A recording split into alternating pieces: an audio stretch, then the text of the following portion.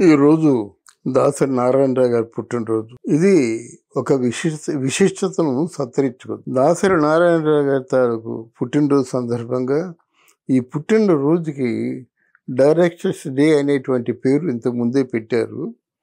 ఈరోజు డైరెక్టర్స్కి ఒక కోటి రూపాయలు విరాళం అంటే డైరెక్టర్స్ అసోసియేషన్కి ప్రభాస్ గారు కోటి రూపాయలు విరాళం ఇవ్వడం చాలా గర్వపడదవలసిన విషయం ఇది.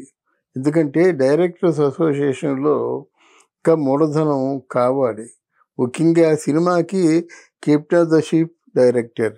ఆ డైరెక్టర్ సంస్థ చాలా వృద్ధిలోకి రావాలి. సెల్ఫ్ సఫిషియెంటీ అంటే సెల్ఫ్ సఫిషియన్సీ కావాలన్నమాట. అది ఎలా వస్తుంది అది? కేవలం డైరెక్టర్స్ అందరూ ఐకమత్యంతో పనిచేస్తూ అంటే మూలధనాన్ని పెంచే కార్యక్రమాలు ఆలోచించాలి. డైరెక్టర్స్ పట్ల వాళ్ళ యాక్షన్ ఫోకస్ అవ్వాలి. యాక్షన్ ఇన్ ది సెన్స్ వాళ్ళ ఆపరేషన్ ఫోకస్ అవ్వాలి. అది ఏం చేస్తున్నారు అసోసియేషన్లో? ఏదైనా చిన్న డైరెక్టర్స్ చిన్న సినిమాలు వస్తే వాళ్ళు ఎలా హెల్ప్ చేస్తున్నారు? అలాగే ఓ చిన్న ప్రొడ్యూసర్ వస్తే ఓ ఎలాంటి సజెషన్స్ ఇచ్చి వాళ్ళు చేసే సినిమాలు తీస్తున్నారు. ఇవన్నీ ఉంటాయన్నమాట. తర్వాత ఏంటంటే డైరెక్ట్లు ఒకేసారి కోట్లకి రెమ్యూనరేషన్ పెంచినట్టయితే కాదండి. చిన్న సినిమాలు బతకాలంటే మంచి సినిమాలు చేసేవాళ్ళు తక్కువ రెమ్యూనరేషన్ కోటి రూపాయలు లోపలే తీసుకున్నటువంటి డైరెక్టర్స్ చాలామంది ఉన్నారు. ఇప్పుడు దాసరి గారి అసిస్టెంట్లు చాలామంది ఉన్నారు. చాలా వాళ్ళు ఆరోగ్యాలు కూడా బాగున్నాయి. నరసింహరావు గారు కానీ నందం హరిచంద్రరావు కానీ ఆ రమణ బాబు కానీ అందరూ బాగున్నారు మనకి. పిలిసెట్ రవిరాజ ఈ మధ్య సినిమాలు మానేశారేమో మరి తెలీదు. కానీ మంచి ఆరోగ్యంగా ఉన్నారు అందరూ. వాళ్ళకి రాఘవేంద్ర శిష్యులు ఉన్నారు కదా వీళ్ళందరూ కూడా మంచి హెల్తీగా ఉన్నారు. వాళ్ళందరిలో మహోన్నతమైన టాలెంట్ ఉంది. వీళ్ళు పోతే మళ్ళీ రారు. మా వీళ్ళంటే ఎందుకంటే ఆ- ఆ- ఆ స్కూల్లో చదువుకున్న వాళ్ళు అంటే గురుకులంలో చదువు నేర్చుకున్న వాళ్ళ లాంటి వాళ్ళు దాసరి గారి శిష్యులు అలాగే రాఘవేంద్రరావు గారి శిష్యులు. వాళ్ళ శిష్యుల్ని బాగా ప్రేమించారు శిష్యుల్ని బిడ్డల్లా చూసుకున్నారు శిష్యులకి బాగా విద్య చెప్పారు. ఎవరైతే బాధ్యతగా ఉంటారో వాళ్ళని రెగ్యులర్గా సినిమాలు చెప్పి వాళ్ళేమో ఎంకరేజ్ చేసేవాళ్ళమాట. ఎంకరేజ్మెంట్ అంటే ఇక్కడ శిష్యుల్లో ఉన్న గొప్పతనం నేను నరసింహరావు గారితో ఎక్కువ అనుబంధంతో ఉండేవాడిని. మా గురువు గారు కూడా చాలా ప్రేమగా చూసేవారు. ముఖ్యంగా నా తాలూకు రైటింగ్స్ బాగా లైక్ చేసేవారు. అయితే ఇక్కడ నేను నేర్చుకుంది ఏంటంటే వీళ్ళు కూడా మనకి ఇన్ని సినిమాలు అప్పచెప్తున్నారు కదా అనేటువంటి గర్వం కానీ అసలు ఏమైనా ఏంటి ఏమంటారు ఎక్స్పోజర్తో కూడుకున్నటువంటి చిన్న ఈగో అట్లాంటిది ఏమీ లేదండి. వీళ్ళు బాధ్యతగా బాధ్యతగా సినిమా చేసేవారు. సినిమా మొదలు పెట్టారంటే సినిమా అయిపోయి శ్రీకారం చుట్టి పంపించే శ్రీకారం చుట్టారంటే శుభం చుట్టి పంపించేసేంత వరకు ఉండేవారు. మళ్ళీ మధ్యలో స్టోరీ డిస్కషన్. కనుక ఇంతమంది ఒక వంద మంది శిష్యులు ఉన్నారు మా గురువు గారికి. అందులో నేను ఒకండి. ఇక్కడ ముఖ్యంగా చెప్ మా మా గురువు గారికి నాకు మధ్య ఉన్న మంచి అనుబంధం ఏంటంటే ఒకసారి ఈ సగం దాసరది అని ఎవరో రాశారు. రాస్తే ఆయన హైదరాబాద్ నుంచి చెన్నై రాగానే ఎవరు రాశారో కానీ తెలియటం లేదయ్యా రామారావు. ఈ శకం దాసరిది అని రాశారు. గొప్ప అద్భుతంగా ఉంది. నాకు హెచ్ఎంటీలో పనిచేసిన పచ్చ శరత్ కుమారు ఆయన మౌనంగా ఉన్నాడు నవ్వేసి తనే రాసినట్టుగా నీకు తెలుసా శరత్ కుమార్ అంటే తెలుసు. చాలా బాగా రాశాడయ్యా. అనేసరికి నేను నవ్వేసి అది రాసింది నేనేనండి ఎందుకంటే నా పేరు లేకుండా సాయిరామ్ అనే పేరుతో నేను రాశాను. సాయిరామ్ అనేది నాకు పెన్ నేమ్ మాట ఆంధ్ర భూమిలో కూడా సాయిరామ్ సినిమా కవర్లు ఇలా ఉండేది. అలాగే సాయిరామ్ సినిమా సంచారం ఆంధ్రప్రభ ఇలా ఉండేది. అప్పటి నుంచి మంచి పెన్ను ఉంది నీకు రామారావు అని చెప్పి ఆయన ఎంతవరకు ఆ పెన్న మీద ఉన్నటువంటి మమకారం ఎంతవరకు ఆయనకు ఉందంటే మహానుభావులండి వాళ్ళు వ్యక్తిత్వం ఉన్నాళ్ళు ఓ రోజు సడన్గా నరసింహరావు గారు అనుకుంటాను కబురు చేసి గురువుగారు రేపు ఉదయం రమ్మంటున్నారు రామారావు అని చెప్పారన్నమాట. అయ్యో తప్పకుండా వస్తానని చెప్పారు. ఏంటంటే ఆయన కోరిక అది నిజమే. ఎప్పటికి కూడా దాసరి నారాయణరావు గారి మీద పుస్తకం రాయాలంటే ఎంతమంది ఏ స్థాయిలో రాస్తారో తెలియదు కానీ నేను మాత్రం ఆల్మోస్ట్ ఆల్ అంటే ఆయన సినీ రంగ ప్రవేశం నుంచి నిష్క్రమణ వరకు నేను కొంచెం బాగా రాస్తానని నమ్మకం ఉంది. ఆ నమ్మకం ఆయనకి కలిగింది. అప్పుడు ఏం చెప్పారంటే రోజు నువ్వు రావాలి రామారావు వచ్చినట్టయితే గంట రెండు గంటలు కూర్చో. అది మనం పూర్తి చేద్దాం అన్నారు. రోజు రావాలంటే మల్కాజిగిరి నుంచి ఎప్పుడు వస్తాను నేను? కనుక సార్ నాకు ఒక ప్రాబ్లం ఉందండి. మలకాజ్గిరి నుంచి రావాలంటే నాకు కష్టం అయిపోతుంది. మీ పోనీ నువ్వు నువ్వు అనుకున్నావు కదా నువ్వు? నువ్వు అనుకున్న ప్రకారంగా రాసేసాయి అన్నారన్నమాట. అంటే నేను నాకు ఒక ఒక బలహీనత ఉంది. అంత తేలిగ్గా ఏమి రాయలేను నేను. నన్ను ఓన్ చేసుకోవాలి నేను ఓన్ చేసుకోవాలి అందులో ఆవహింప చేసుకొని రాయాలి. అక్షరాలు సజీవంగా ఉండాలి నిర్జీవంగా ఉండకూడదు. అయితే మొదలు పెట్టాను. మధ్యలో ఎవరెవరు రాశారు. ఎవరు రాసినప్పుడు కూడా ఎవరి భావన వారిది ఎవరి పరిశీలన వారిది. ఈ ముఖే ముఖే సరస్వతి అంటారు. ఎవరిని తప్పు పట్టకూడదు కానీ ఎవరి స్థాయిని బట్టి వాళ్ళు రాస్తారు. నేను కూడా తప్పకుండా ఒక ముగ్గురు వ్యక్తుల తాలూకు ఆత్మకథ లాంటి ఒక జీవిత చరిత్ర రాద్దాం అనుకున్నాను. ముందు గురువు గారు రెండు సావిత్రక్క మూడు ఎన్టీ రామారావు గారు.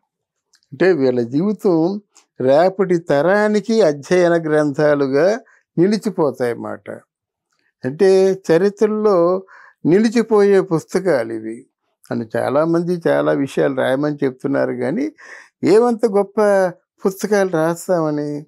అందుకు నాకు ఇక్కడ సినిమా ఫీల్డ్లో ఈ ముగ్గురినే నా టార్గెట్ ఇప్పుడు ప్రస్తుతానికి నేను చేస్తున్న పని కూడా అదే. మనం ఏదైనా కొత్త విషయాన్ని చెప్పాలి. మా చెప్పే విషయం హృదయంగా ఉండాలి. గుండెల్ని తాకాలి గుండెల్ని హత్తుకొనాలి. అంటే వాళ్ళ జీవితంలోంచి మీకు ఎన్నో మెసేజ్లు మెసేజ్ల శర పరంపర వస్తుందన్నమాట. ఒక్కొక్క పేజీలో నాలుగేసి మెసేజ్లు ఐదేసి మెసేజ్లు అన్నీ వజ్రపు తునకలే కదండి వాళ్ళ జీవితాల్లో ఉన్నవి. అయితే ఇక్కడ గురువు గారి గురించి నాలుగు మాటలు. నేను అంటే నా చిన్నప్పటి నుంచి మంచి పరిశీలన ఉండేది. గురువు గారు బయట మాట్లాడే మాటలకి స్టోరీ సిట్టింగ్లో కూర్చొని మాట్లాడి కూర్చొని మాట్లాడే మాటలకి అద్భుతమైనటువంటి డిఫరెన్స్ ఉంది.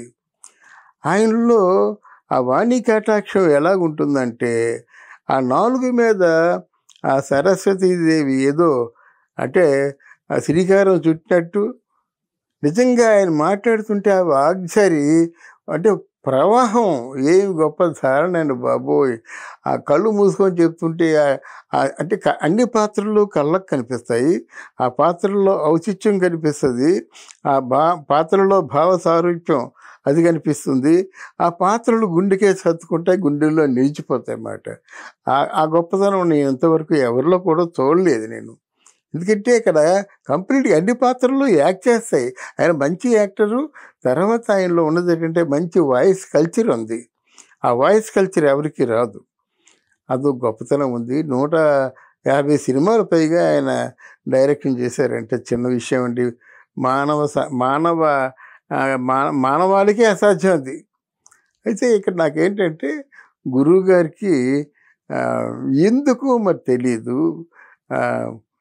చక్కని అంటే ఒక భారతరత్న అన్నా కూడా ఆయన సరిదూగుతాడండి ఎవరండి అన్ని సినిమాలు చేశాడు? ఎంతమందికి ఆదర్శప్రాయం అండి? ఎంతమందిని చూశారండి?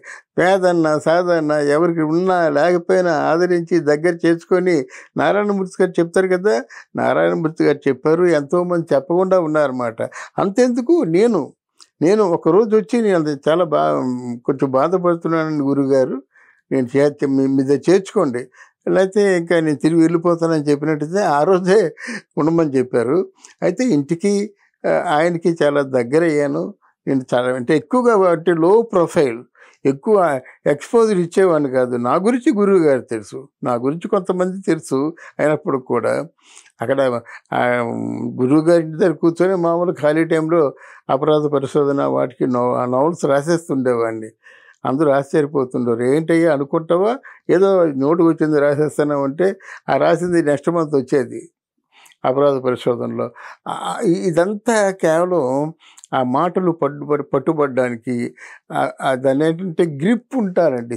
సినిమా స్టోరీకి దేనికైనా సరే ఒక గ్రిప్పు అది పూలదండలో పూలదండలు మనం మనకు కూర్చున్నప్పుడు ఎక్కడెక్కడ ఏ సబ్బులు ఉంటే అంత అందంగా ఉంటుందో హారం అలాగే నేను కథ చెప్తున్నప్పుడు ఎక్కడెక్కడ ఏ జిమ్మికు కావాలి జిమ్మి కన్ను తప్పు ఏ శోభ కావాలి ఎంత గొప్ప ఆకర్షణ కావాలి ఎంత ఎంత గొప్ప ఏంటంటే మలుపు కావాలి ఇవన్నీ ఆలోచించి ఒక అందమైన పూలహారం తను తయారు చేస్తారన్నమాట. అంటే ఈ పూలకి దారం ఆయనే ఆధారం ఆయనే ఈ పూలదండ కూర్చింది ఆయన సర్వస్వం నూటి నూరు పాళ్ళకి ఆయనకే చెందుతుందన్నమాట మహానుభావుడు. అయితే ఒకటి అందరూ తలెత్తుకొని తిరిగేలాగా చేశారు. అందరినీ తలెత్తుకొని తిరిగమని నేర్పారు. మాకు అదృష్టం అండి. మా గురువు గారి దగ్గర ఉన్న వాళ్ళకి ఎవరికి కూడా ఏ చెడు చెడు అలవాట్లు లేవండి. ఎవరిని తీసుకోండి? ఆయనకే లేవు. ఆయనకే లేవు. చెడు అలవాట్లు ఒక్క ఒక్క కానీ తర్వాత ఏంటంటే సిగరెట్లు కానీ మందు కానీ ఇటువంటివి అందరూ నరసింహరావు గారు ఎవరు రమణ బాబు గారు వీళ్ళెవరు ఎవరికి కూడా ఏ చలవ చెడు అలవాట్లు లేవు. కాదంటే పుస్తకాలు చదువుతాము కాదంటే నచ్చితే మాట్లాడతాం నచ్చపోతే సైలెంట్గా ఉంటాము. కానీ ఒక మంచి జీవితాన్ని మాత్రం ప్రసాదించారు. నాకే కాదు నాలాగా ఎందరికో ప్రసాదించినటువంటి మా మహానుభావుడు దాసరి నారాయణ నారాయణ రిపీట్ రిపీట్ దాసరి నారాయణరావు గారికి అమ్మ పద్మమ్మకి ఏ లోకాల్లో ఉన్నా మీరు బాగానే ఉంటారు. పది మందికి అన్నం పెట్టారు. పది మంది మంచిని కోరుకున్నారు. కొన్ని వేల మందిని కొంతకాలం పోషించారు కనుక ఈ పుణ్యం ఊరికే పోదు.